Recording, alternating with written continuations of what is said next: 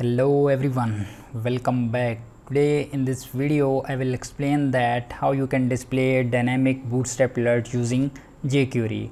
I'm using laravel 8 and i, I am going to implement this uh, by using ajax. Okay i already um, make a, uh, made a tutorial about how you can add uh, dynamic uh, messages uh, without uh, page refresh. Okay actually it's a tutorial about how you can add um, data using ajax by using bootstrap modal in a data tables. Okay i uh, implemented the whole crud where you can create a book uh, also and edit a book and delete book as well as. Okay and if you don't know about how you can add uh, uh, this functionality this CRUD functionality using uh, bootstrap modal by using ajax uh, i will add uh, mm, please must watch my tutorial. I will add the link in the description okay?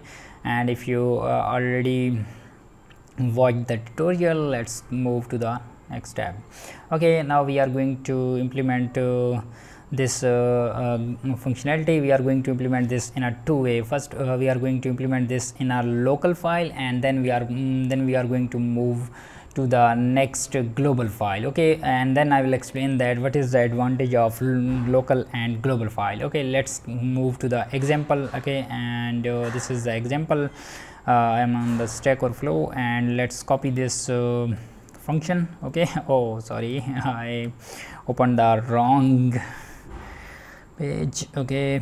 Let's go to the let's go to the end of the file and i'm declaring this function there and i'm naming this uh, alert success okay? It's a success alert and this is uh, alerts and uh, i'm going to actually replace this uh, content okay i want to display the bootstrap alert. Okay let's replace with the bootstrap alert. Copy from the class and edit there and uh, let's uh, replace with this one. Okay and also remove this button. Okay and add the you add your own button. Okay let's paste this and it's throwing error because of this dot. Okay this space. Okay and uh, yeah now this is added and now you, we need to call this function okay? Our function is declared. I am calling this uh, here uh, for testing okay? It's a alert uh, success and here we need to pass a message. We are passing this a parameter and this should be received there okay? I'm passing this uh, uh, success alert is enabled okay oh, my spelling is not correct because i am typing uh, typing very quickly. Okay this is our alert success and now we need to add this id okay we will display this message uh, according to this id if we want to display uh, okay i want to display this uh, message at the top of the heading this heading. Okay this is a laravel 8 crud and we have a laravel 8 crud and i am going to create a id here and id is going to this alerts okay? And i def, uh, uh, I'm calling this alert uh, there okay? This and this uh, everything is append to this id okay? Let's test this and refresh it and if there is uh, yeah it's working okay? It's working and now we are hard coded this value. How you can pass this uh, uh, from your actions okay i'm cut this uh, calling function and now I want to display it when our book is created. Okay this is a save saving function where we are saving the book. Okay this is a success. If the success is uh, uh, yeah is uh, success equal at true we want to display this uh, function. Okay and I want to pass this parameter like book added successfully okay? Uh, book added successfully. Now it will display that if our book is created it will display the book is added successfully okay?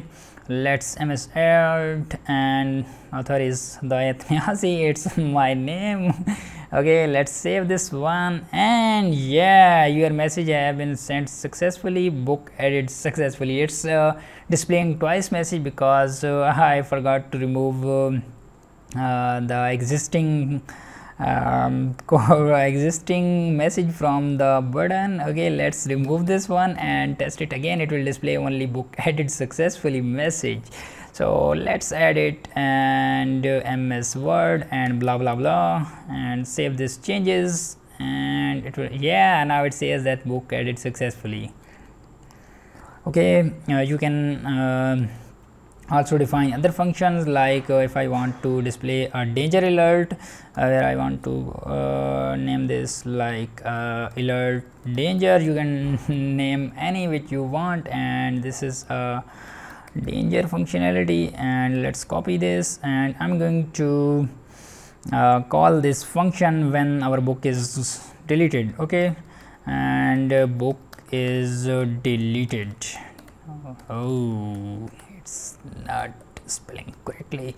Okay let's refresh it and test it again and hopefully it's going to work. Let me delete this heli updated. Uh, when i'm going to delete this and yeah it now displaying the dynamic uh, value that book is deleted. Okay that's good. And now i want to when i delete this book and click on ok it's added the alert at the top but user don't know about that the alert is added at the top or not. Okay so we want to scroll the user. When the alert is uh, displayed at the top we want to display the user to the top okay? So you can go to the this uh, uh, scroll to top function uh, okay? Let's copy this and add this in your function when your function is called okay? After executing appending this file okay?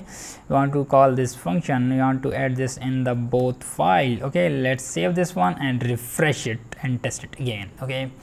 So i'm uh, i am at the end of the file uh, and now i'm going to click okay when i press ok it will uh, delete the book and display the message and also uh, scroll us to the top. Now it's uh, at the bottom of the page. Okay let's okay and yeah it's scroll us to the top and the message is displayed and book is also deleted.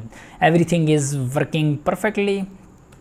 Okay this is the localization. We declare the function in our file and we are calling this function in our file. Okay?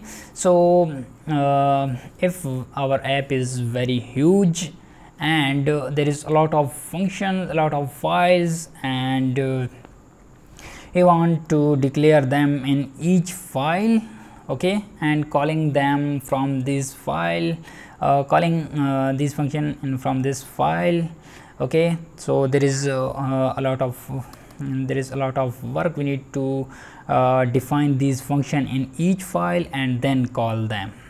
Okay and uh, our code is um, going too huge because there is a lot of functions. Uh, we need to display them in this file and if there is any any other file we'll, uh, we, uh, we need to def uh, define this function in those file but what if we will define this function globally? If we define these function globally we don't need to create these function in every file. Uh, we just only call these function which are stored in the global file. And um, uh, our performance is also good. And uh, the other thing is we need to a code very less and when we are going to debug any function it's uh, quite simple okay? Let's cut these function from there and add a global file okay? We are inside the public js and i'm going to create a file which is alerts.js okay? And i'm going to paste this uh, everything there and uh, now there is not any function defined there in this file okay? Let me add this uh, file at the top okay? It's a script okay it's scripting. Mm, yeah we need to add a script there. It's a script closing tag script. Okay add this file. Mm, i'm going to uh, use asset method okay? Inside the asset we have a js and inside the js we have a alert.js file. We edit this file there and now I'm going to create a new file blah blah blah. It's again going to create this oh now it's also successfully working and if I'm going to uh, uh, comment this file it's not going to work okay? It will throw an error that the, this function is not defined okay? Let's add this close this and now it says let success is not defined okay? Because we commented comment out this okay uh, so let's refresh it and test the delete functionality. Is it uh, working globally uh, from global file? Okay delete. And now delete is successfully working and add is also successfully working. Everything is good good. Okay oh, if you want to display only one alert what is method? Okay so the method is that uh, you need to go to the js file which is created right now. Where is the file? Let me go to the file.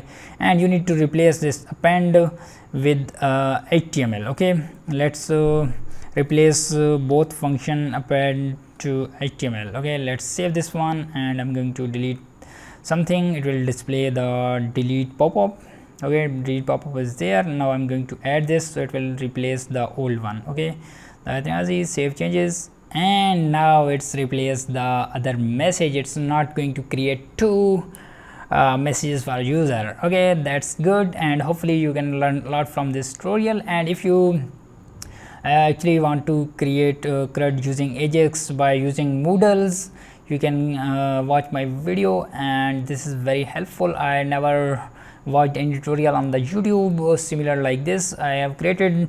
So this is very helpful for you because i uh, created this with real life example. I uh, picked uh, up a blog and i implemented this uh, from step by step. Okay uh, and if you have any further query you can ask me in a comment box and we will see you in the next video. Thank you for watching.